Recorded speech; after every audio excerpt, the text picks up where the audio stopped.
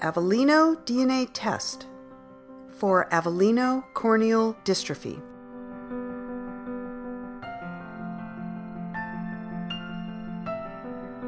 Advances in genetic testing and diagnostics provides physicians with the ability to perform predictive and preventative medicine.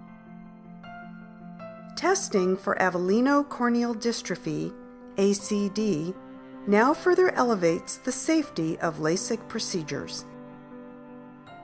First discovered in the United States in 1988 among immigrants from Avellino, Italy typically inherited single gene dominant.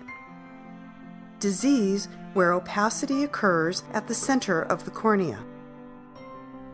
Variable size crumb like opacities in the corneal stroma that have become fused in areas, giving rise to elongated and stellate shapes.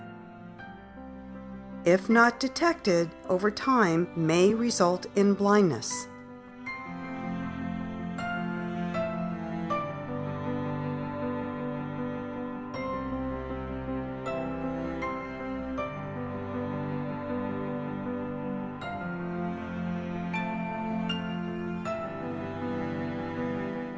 Prevalence.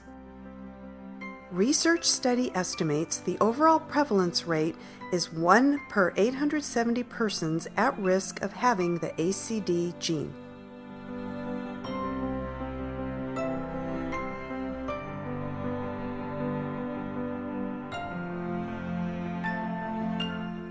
Causes. The genetic mutation, ultraviolet light, corneal injuries, Corrective vision laser surgeries can rapidly exacerbate the development of corneal opacities.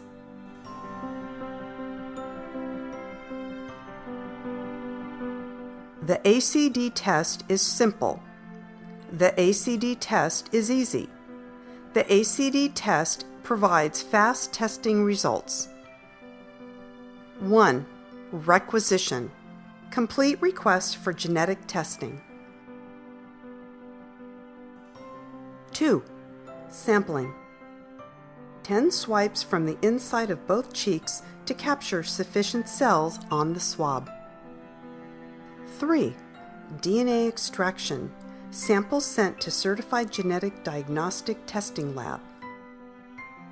4. Screening and result. Samples reported to physician within 24 hours.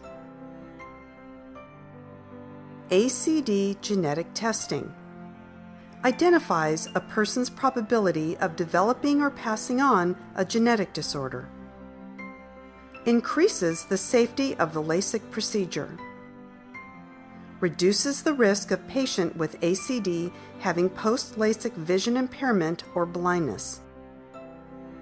For additional information regarding Avellino corneal dystrophy, consult your physician or contact Avellino Lab USA at infousa at avellinolab.com or visit their website at www.avellinolab.com.